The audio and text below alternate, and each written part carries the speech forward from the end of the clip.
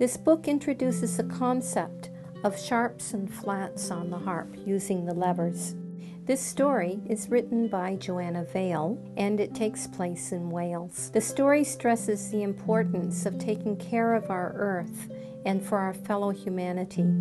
I have included the traditional Welsh tunes and some original compositions of my own to enhance the storyline. This also makes for a wonderful production to do with a group of children acting out the story and playing the music intertwined.